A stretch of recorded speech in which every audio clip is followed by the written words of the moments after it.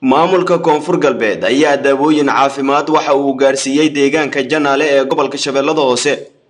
Guddoomiyaha deegaanka janaale cabdiraxmaan yuusuf alcadaala ayaa ka mahadceliyey deeqdaasi waxaana uu sheegay in sidan oo kale looga baahan yahay maamulka koonfur galbeed iyo hay'adaha ka shaqeeya arrimaha caafimaadka in ay soo badiyaan daawooyinkaas maadaama uu sheegay in deegaanka ay ka jirto xaalad caafimaad.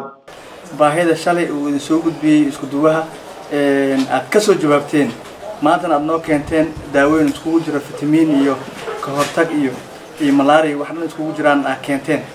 Waa idin kaga mahad celinaynaa. Run ahaantiisaan u sheegay shalay magaalada jannaale ee gobolka shabeellada hoose waxay ku jirtaa xaalad deg deg ah. Intaan aad keenteen waxay noo taraysaa wax weyn ay noo taraysaa. Waxay noo noqonaysaa dhiirigelin waxay noo noqonaysaa in anagana aan dad leenahay ama sanatara leenahay ama iskuduwi leenahay oo markii aan cawashadayna u sheegano oo hor ka soo jawaabayo ay taas caddaynaysaa dadkuna waxay u tahay tan bilow bilow fiican noo tahay. Waa markii ugu horreysay saan u imaanay janaale daawadii ugu horreysayna soo gaartay waaye. Marka ismaaciil aadaa umahadsan tahay.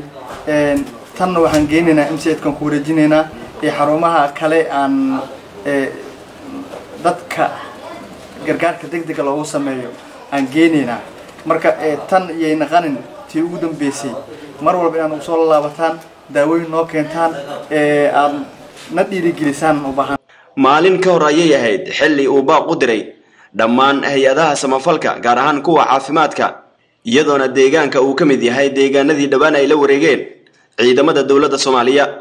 Cumar yuusuf raadiyaha iyo telefishinka city muqdisho